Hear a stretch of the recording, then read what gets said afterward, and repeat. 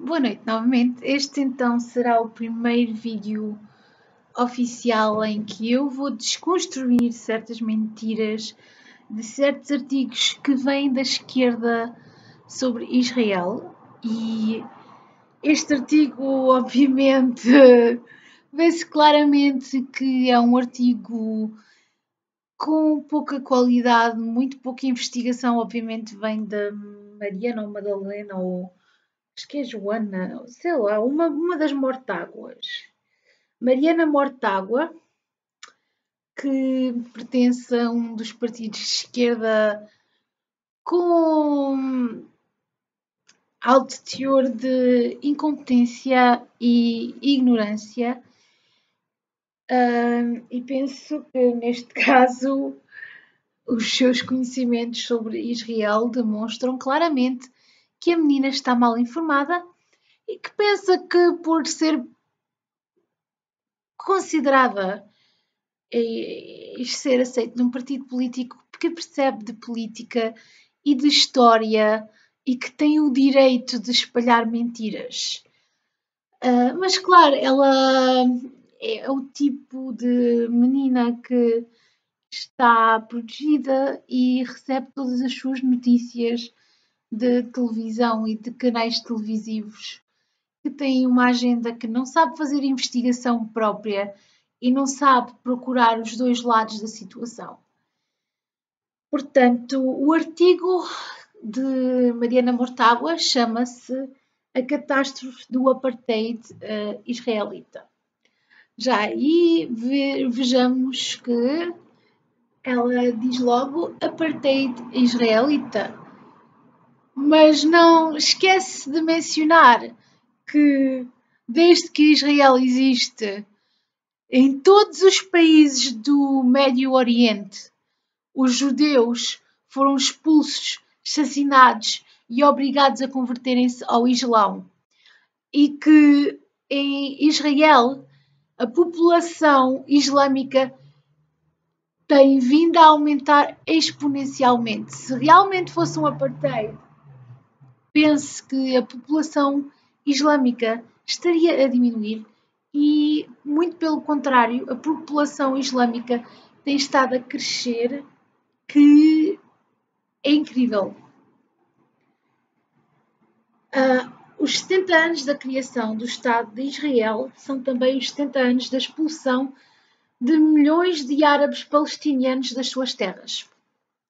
Menina Mortágua, você sabe muito bem que mentir é feio.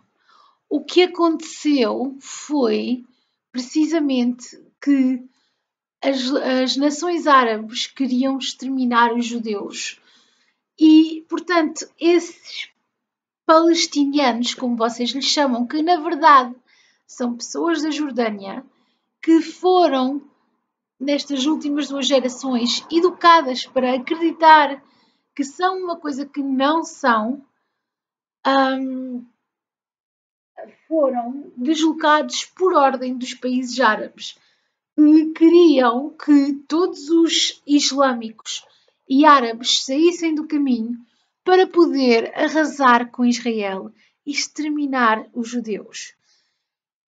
Os palestinianos, como vocês lhes chamam, que na verdade são israelitas, apesar de serem muçulmanos, que não saíram e permaneceram. As suas famílias estão até hoje em Israel. A única razão pela qual os pobres palestinianos saíram de Israel foi porque a, a, a Liga de Países Árabes queria exterminar os judeus e fazer o que Hitler não conseguiu fazer.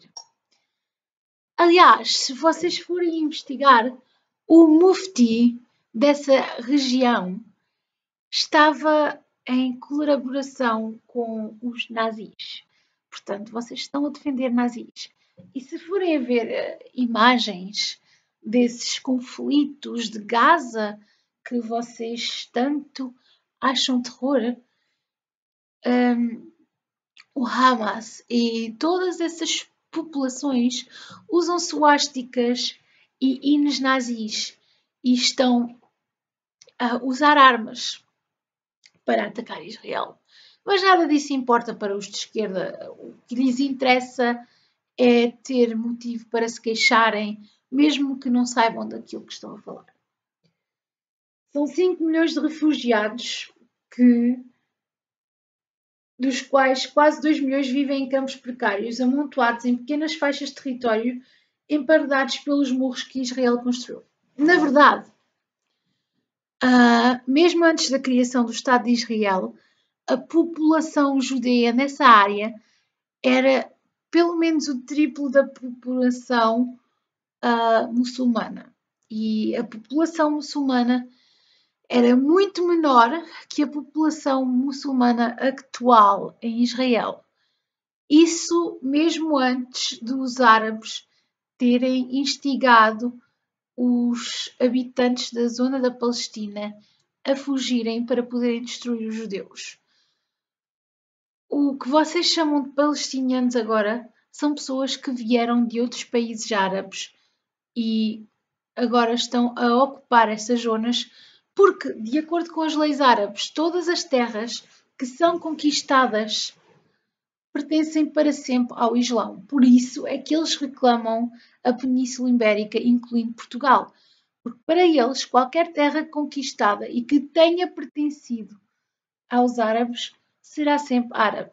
Portanto, qualquer clamor que tenham a essa terra é apenas pelo facto de que o Islão não aceita que as terras sejam retomadas deles. Portanto, informem-se.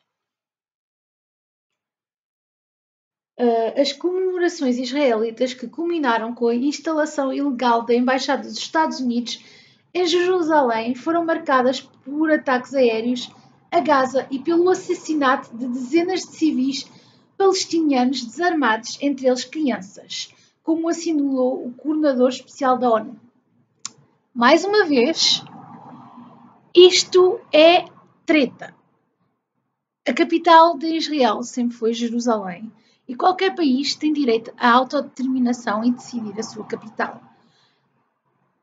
O, a deslocação de, da embaixada de, de, dos Estados Unidos para Jerusalém foi mais do que justa e já está, já é devida há muitos anos. Jerusalém é a capital de Israel desde tempos imemoriais e é estúpido que políticas de esquerda e pessoas que não têm nada a ver com Israel queiram decidir qual é que é a capital de Israel. Por outro lado, vou-vos explicar um bocadinho o que se passa em Gaza. O que se passa em Gaza é que o Hamas, que é uma organização terrorista, está a pagar a pessoas e a incentivar os seus cidadãos a atacar Israel. Eles usam crianças como escudos. São terroristas que, para tentar conseguir compaixão, levam crianças para a linha de combate para acusar os israelitas de crueldade. O exército israelita é o exército mais contido do mundo.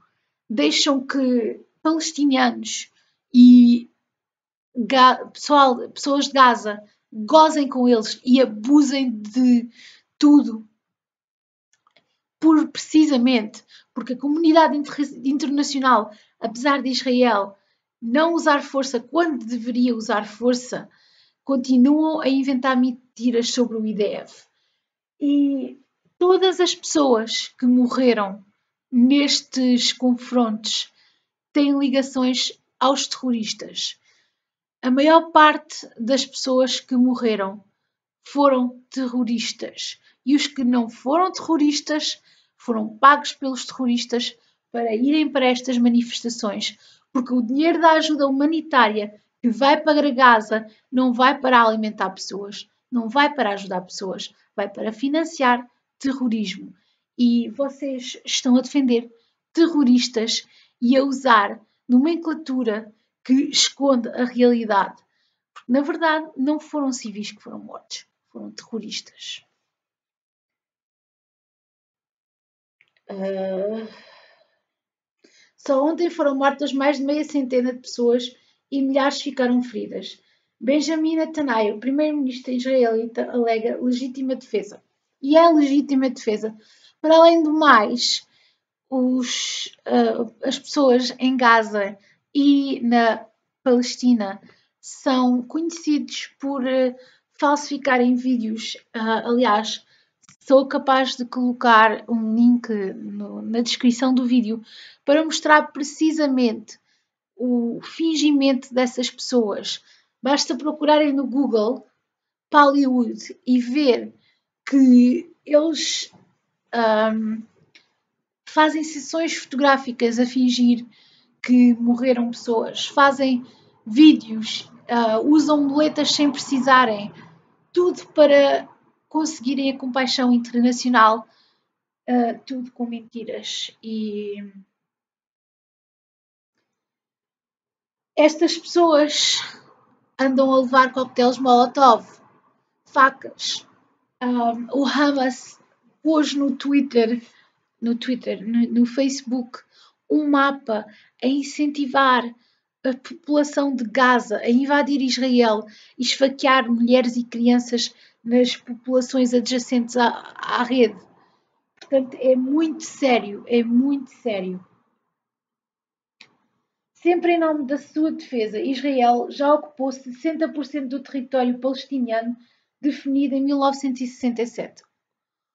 O que é idiótico, porque o território pertence a Israel e vocês não sabem do que estão a falar. Violando das fronteiras reconhecidas pela ONU e pelos Estados Unidos de Obama, o Obama é o maior terrorista do mundo, não preciso dizer que delimitam o Estado da Palestina foi também para se defender que emparedou os refugiados palestinianos em guetos que são verdadeiras prisões a céu aberto em Gaza e na Cisjordânia.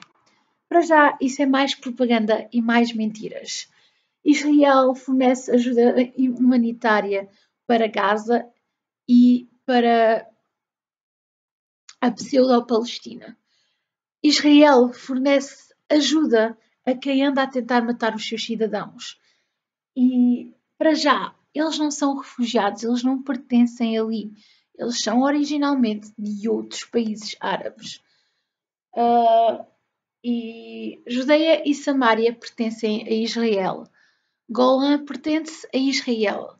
São tudo zonas que pertencem a Israel, não só desde o Tora. O Tora prova que essas zonas pertencem a Israel, mas a declaração de Balfour estabelecia que essa, essa zona iria pertencer a Israel. Portanto, parem com as vossas mentiras.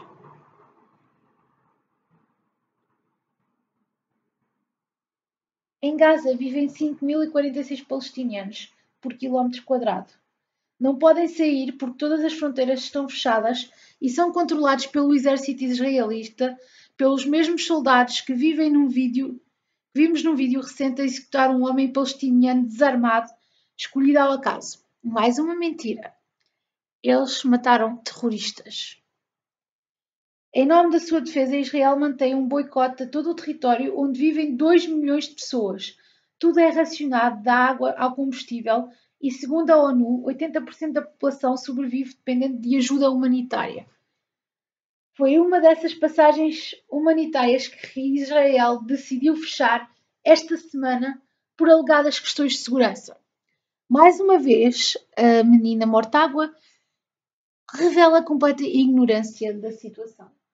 Para já, para já, Israel tem a travessia quase sempre aberta. Tem que ser controlada porque os meninos andam a tentar infiltrar bombas, andam a tentar infiltrar armas brancas para matar pessoas.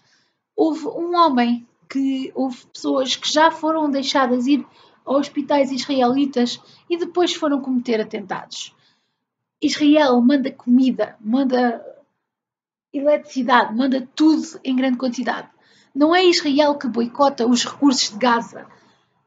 Os, o Hamas é que destrói as centrais elétricas que Israel constrói.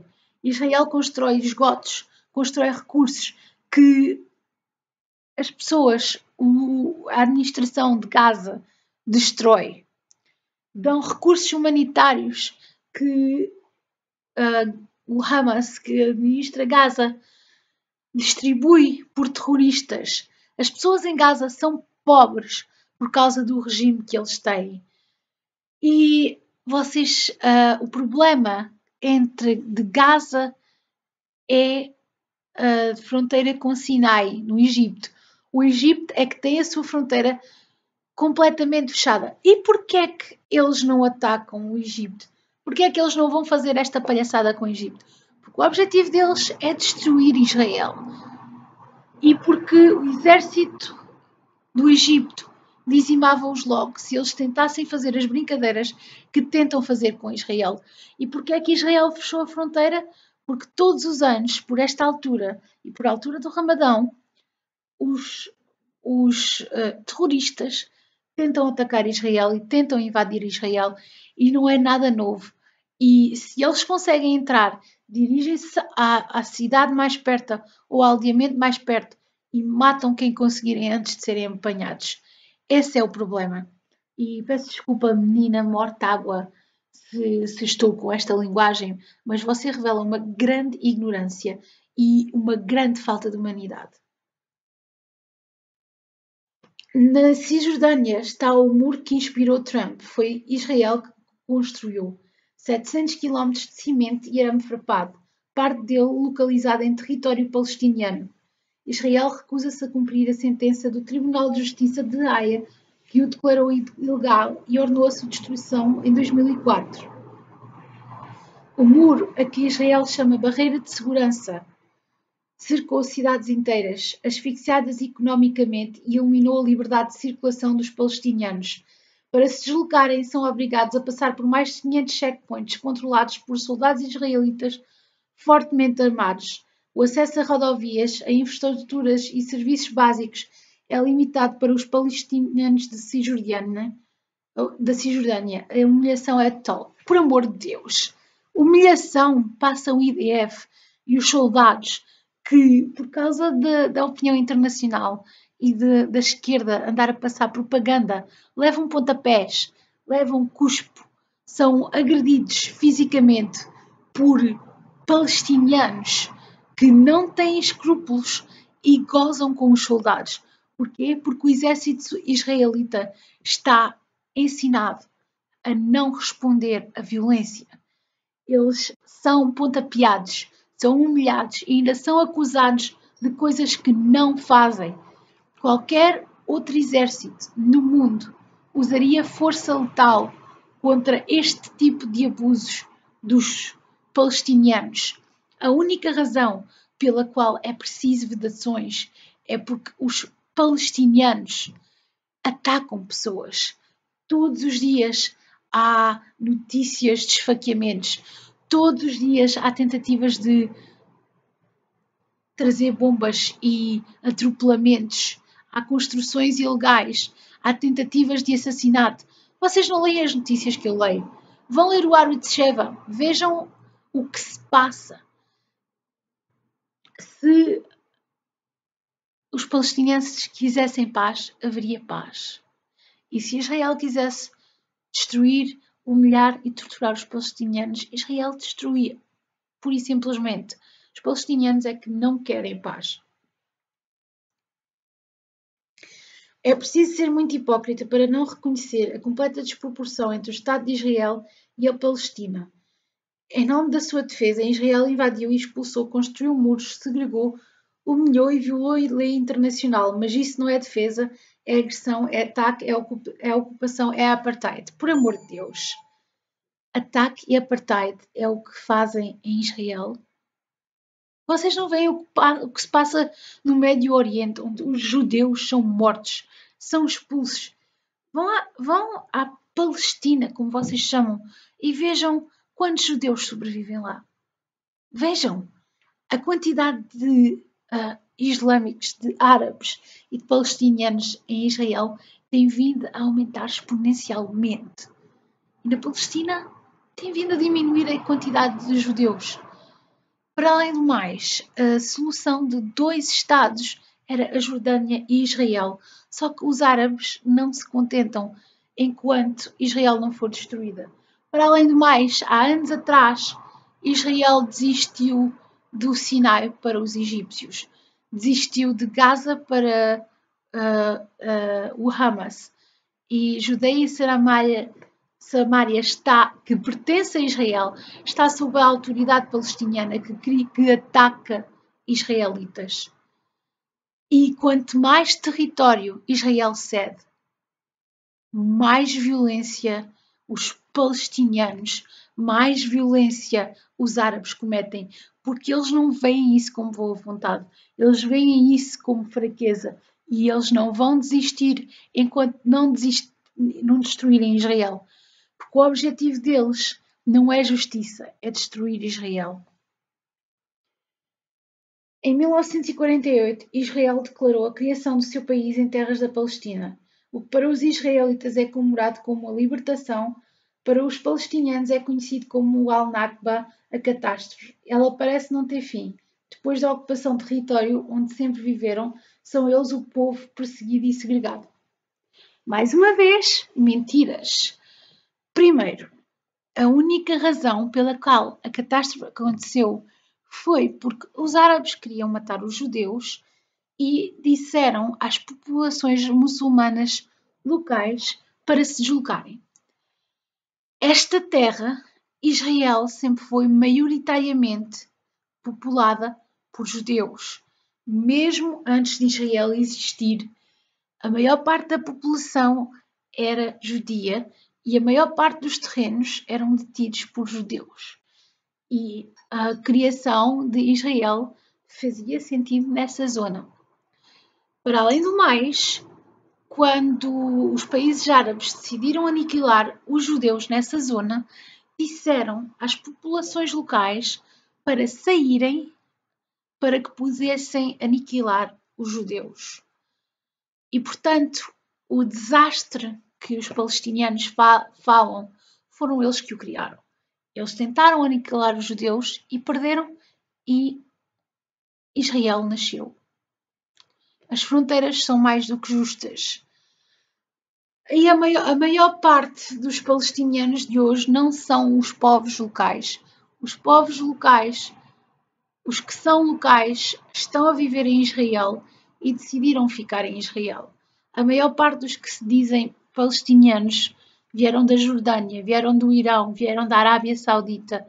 São pessoas que invadiram esta zona porque havia a necessidade de criar um povo artificial para tentar evitar que os judeus conseguissem a sua terra de volta. E a comunidade internacional acredita nisso, o que é muito triste. Vão ver os livros escolares dessas populações, vão ver como eles treinam as suas crianças e digam quem é que é injusto. É tudo por este vídeo. Boa tarde. E Joana Mortágua, por amor de Deus, desiste da política ou estuda um bocadinho.